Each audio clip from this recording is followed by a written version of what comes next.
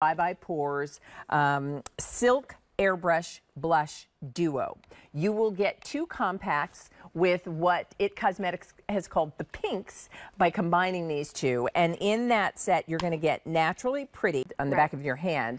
Uh, you can see what those colors look like. And while they look maybe intense, like, um, so talk to me about this formula and these two colors. And do I wear them together or separately? What can I do? Put blush on, and then halfway through that you want. I'm gonna mix. You get a matte and you get a radiant shade.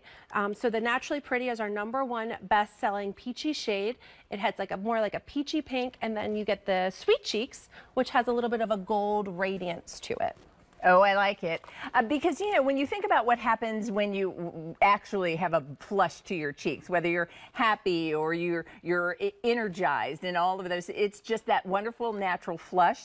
That's what you're getting here. It looks soft. It doesn't look shimmery. It doesn't look harsh. It doesn't These are designed to work for all skin tones, all skin Pretty. types, whatever hair color you have, whatever your outfit is for the day. It, I'll tell you, we're down to our final 600. These are universally flattering colors. You don't even need to decide, ooh, do I like a, a, a rosy pink or do I like a more uh, peachy pink because you get both.